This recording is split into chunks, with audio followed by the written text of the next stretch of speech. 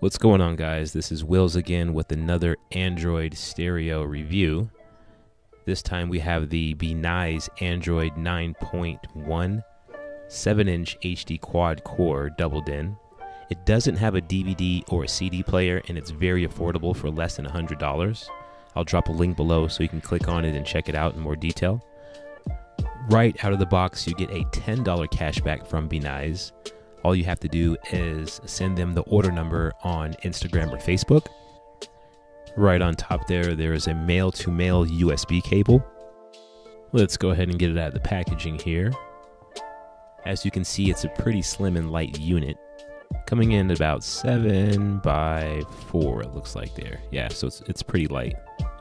Here is the faceplate, brackets for mounting. You get the instruction manual, camera cable, harness, the second harness for power in the speakers, USB cable, another USB cable, and this is the screw-in Wi-Fi adapter.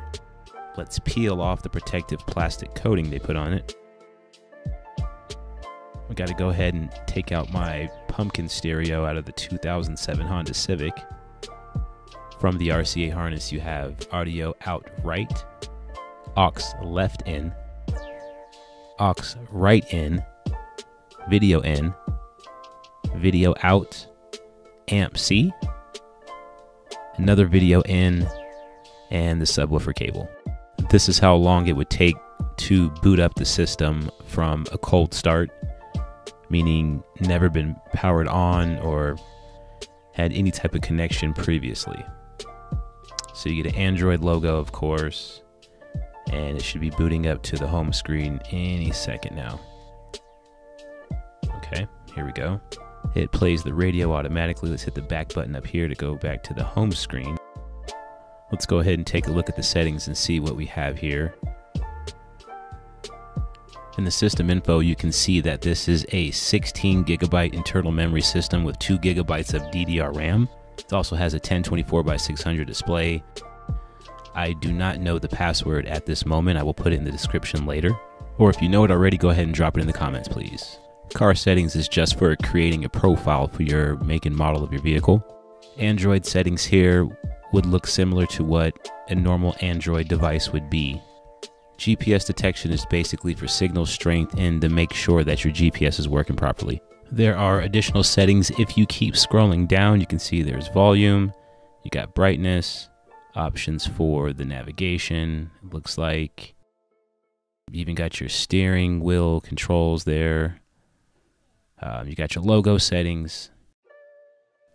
Other settings will let you enable the float bar option, which is like a little shortcut button type thing.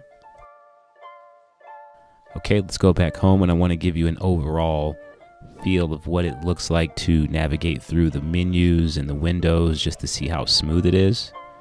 It's actually pretty smooth for a 2 gigabyte system. The little rectangular button will let you get to all the apps and close them very quickly, either by swiping or hitting the close all button down below. Okay, back at the home screen here, let's see what hitting the car does. Oh, it takes you to Google Maps. That's pretty convenient. Got to sign in to get that going. I'm going to skip it for now so we can just see what it looks like really quick here. Oh, there it goes. That, that was actually pretty quick. Okay. All right, now let's see if this thing has Netflix because a lot of them with two gigs of RAM can't really run it. And by the looks of here, it does not have it.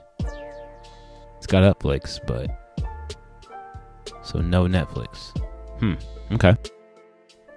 Let's see if we can get Amazon Prime Video going. That's a pretty good app. All right, we got Amazon Video going. Let's look at something and try to play a video to confirm that it actually works. Let's see. Notice the scrolling speeds. It's not the smoothest, but you know. Yeah, let's go with Hot Tub. That's a classic. Let's get it fired up and. Oh, okay. So as you can see, the Amazon Video app, it is working. We've got Hulu also confirm working, but let's make sure that we can pull a video just to confirm. There we go. So we got one playing. And and so far everything's running really smooth. Okay, this is good stuff.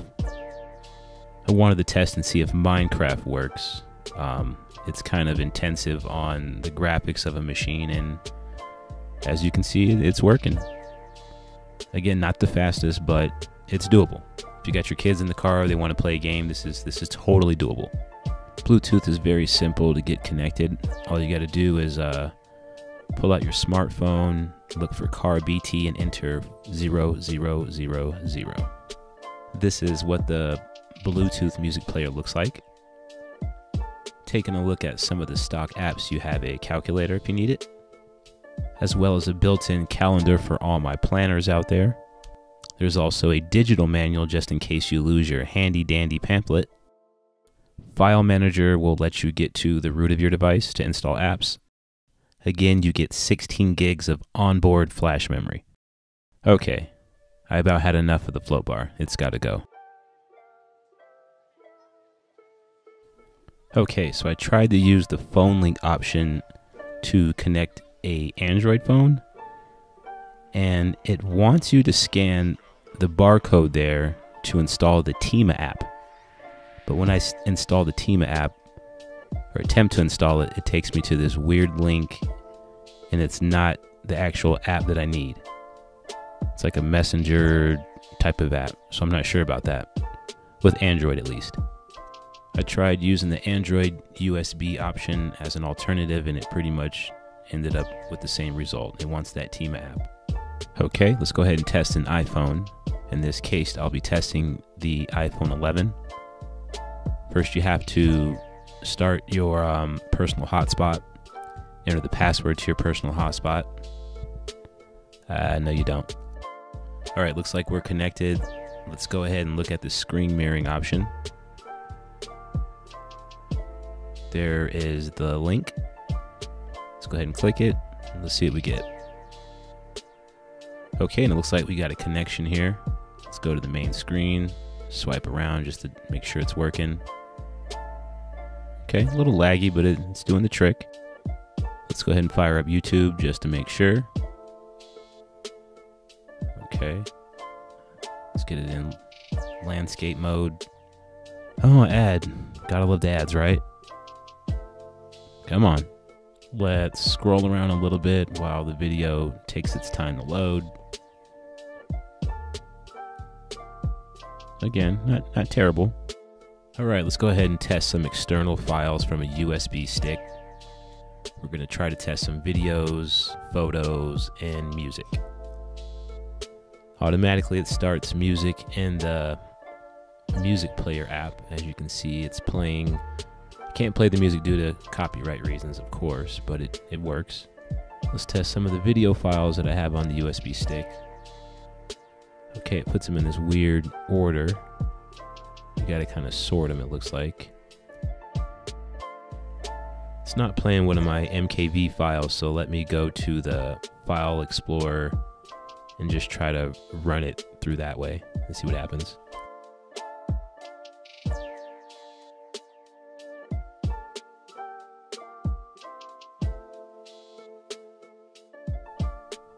Okay, maybe it just doesn't like that particular file. Let's try another one. Hey, there we go. Okay, so it looks like it will play MKV, just not the one on my drive for some reason. So cool. MKV's confirmed working. Here's another MKV file. Perfect. And this one's an AVI file, so it plays multiple file formats. All right, let's see if we can do anything with a photo here. Let's enlarge it. Maybe a little more. No? Can I make this the background? Mm, okay, this is typical, just like a regular Android phone. Wallpaper. Crop it up. Eh, whatever. Let's just get it on there. Save. Let's go back home and take a look and see if it actually saved it. Cool, it did.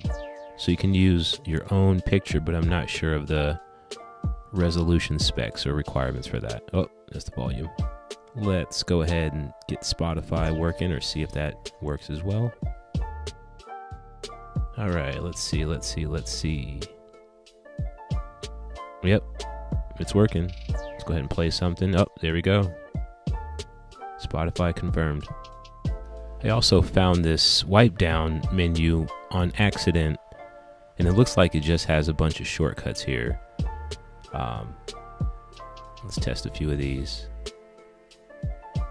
Okay, that obviously turned the screen off.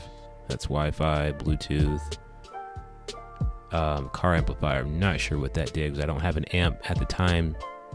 Cleanup will probably. Okay. Cleaned up some apps, released some memory. That's always good. Looks like it's also possible to take a screenshot. So go ahead and have fun with that if you're the screenshotter amongst your friends. This will take you right to the USB camera, which I do not have connected at the moment. Sold separately. In the Android specific settings, again, it's just like a basic Android phone. Let's look at the display. You got your font size. Um, here is a stock list of wallpapers you can go through. Let's see what we got. Let's see what we got. Okay. Is that a blue bunny?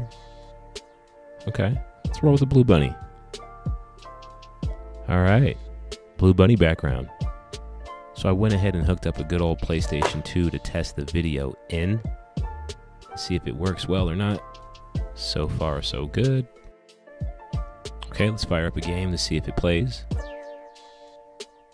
Let's test out Garouden Break Blow. It's a very rare game from the Grappler Baki series. Okay, looks like it's working. Okay, cool. So if you wanted to hook up like a PlayStation, Xbox, PS4, Xbox One, I guess, as long as you had the RCA cables, you could do so. Um, that home button will take you out. You hit the app, it'll take you right back to the game, which is pretty cool. I used to play this game all the time, and now I don't know. I don't know what the heck I'm doing. Oh, okay. You can switch the inputs there. This unit did not come with an external mic, so it's right there at the top.